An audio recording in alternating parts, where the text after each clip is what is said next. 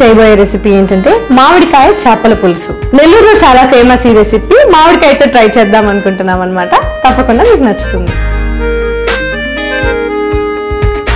మామిడికాయ చేపల పులుసుకి కావాల్సిన ఇంగ్రీడియంట్స్ ఏంటో చూసేద్దాం. ఉప్పు కారం పసుపు గరం మసాలా అల్లం వెల్లుల్లి పేస్ట్ కరివేపాకు పచ్చిమిర్చి మామిడికాయ తురుము ఎండుమిర్చి ఆవాలు మెంతులు జీలకర్ర చేపలు tomato onion paste so first చేపల్ని మనం ఆయిల్లో ఉప్పు పసుపు కారం వేసి కొంచెం ఫ్రై చేసుకుందాం. ఆ నీచు వాసన పోతుంది. అలానే ఎక్స్ట్రా టేస్ట్ కూడా యాడ్ అవుతుంది.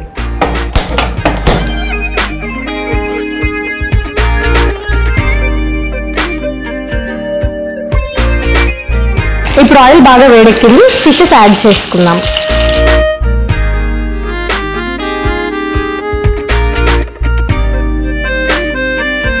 కొద్దిగా పసుపు కారం అలానే సాల్ట్.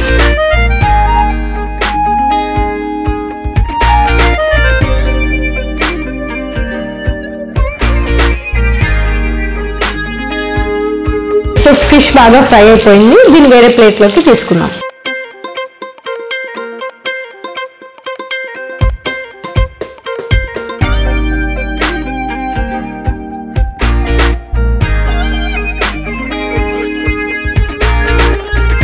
ఫిషెస్ అన్ని ఫ్రై చేసుకొని పక్కకు తీసేసుకున్నాం ఇప్పుడు నెక్స్ట్ ప్రాసెస్ ఏంటో చూసేద్దాం.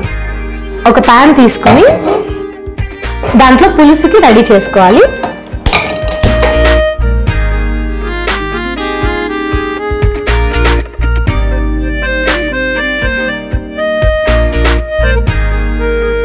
ఆయిల్ హీట్ ఎక్కిన తర్వాత కొద్దిగా ఆవాలు జీలకర్ర కొద్దిగా మెంతులు ఎండుమిర్చి పచ్చిమిర్చి కరివేపాకు యాడ్ చేసుకోవాలి.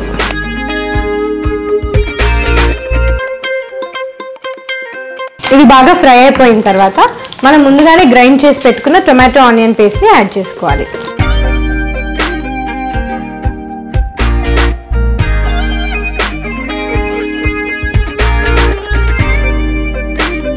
ఇందులో కొద్దిగా పసుపు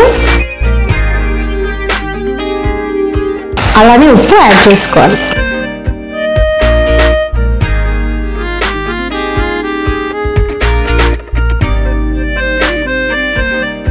ఇదంతా పచ్చివాసన పోయి దగ్గరికి అయ్యేంత వరకు మనం ఫ్రై చేసుకోవాలి.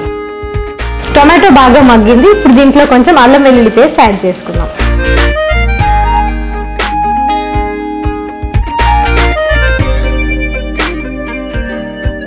సో అల్లం వెల్లుల్లి పేస్ట్ కూడా బాగా మగ్గిన తర్వాత ఇందులో ఇప్పుడు మనం కారం యాడ్ చేసుకుందాం.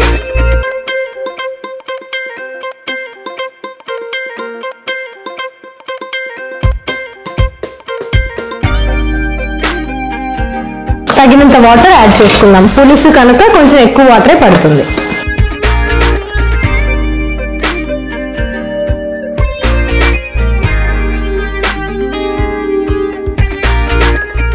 దీంట్లో ఇప్పుడు మనం ముందు ఫ్రై చేసి పెట్టుకున్న ఫిష్ పీసెస్ని యాడ్ చేసుకోవాలి.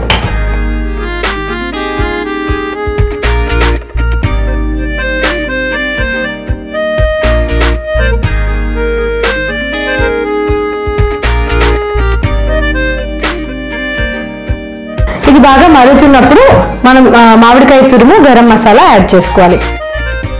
ఫిష్ పీసెస్ యాడ్ చేసిన తర్వాత మనం మిక్స్ చేయకూడదు. ఫిష్ పీసెస్ బ్రేక్ అయిపోతూ ఉంటాయి కనుక అలానే మూత పెట్టేయాలి.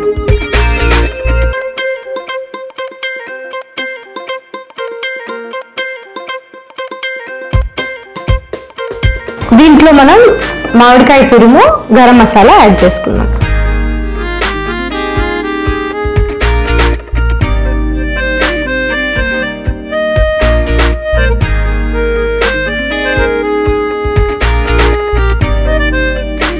ఇప్పుడు ఇప్పుడు ఇంకొంచెం లిడ్ పెట్టేసుకుందాము. మ్యాంగో తురుములో ఉన్న పులుపు మొత్తం చేపలకి బాగా పట్టాలి.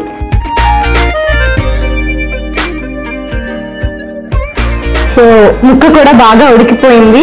పులుసు మామిడికాయలో ఉన్న పులుపు కూడా బాగా ముక్కలకి పట్టేసింది. వాసనలోనే తెలిసిపోతుంది. అండ్ ఇది సీజన్ కనుక అందరూ తప్పకుండా ట్రై చేయండి. మనకి కావాల్సిన కన్సిస్టెన్సీ ఇంకొంచెం సేపు ఉంచుకొని కూడా తీసుకోవచ్చు. ఎవరికి ఎంత కన్సిస్టెన్సీ కావాలో అలా ఉంచుకోవచ్చు. సో ఇప్పుడు మనం డిష్ అవుట్ చేసేద్దాం.